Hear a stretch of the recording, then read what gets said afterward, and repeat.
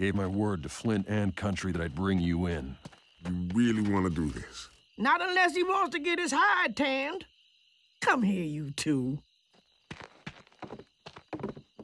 Ah! I will have peace between my grandsons, or I will be getting a switch off the tree. Understood? Yes, ma'am. Now, what's all this squabbling about? Nothing. He's still mad about Grandpa's inheritance. Which he stole from me. Herschel?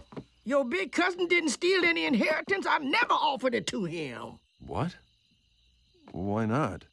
Grandpa made me promise to give it to both y'all at the same time. If you'd have kept in touch the way family order, you'd have known that.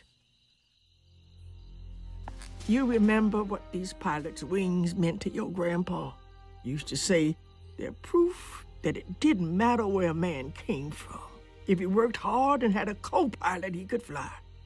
The two of you are co-pilots in this family. This is yours, Marvin. And I owe you an apology. I have a lot more memories of Gramps than you. You keep them, cousin. Now, don't be rude, roadblock. Invite your friends in for supper. Yes, ma'am. Come on, everybody. Yeah, you too, heavy duty. Heavy duty, huh? How many tours you done to get that handle? You still calling yourself that?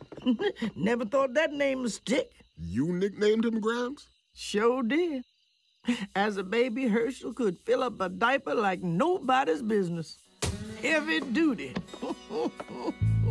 He said heavy duty. Oh, I better find a phone. Report into Flint. What am I going to tell him?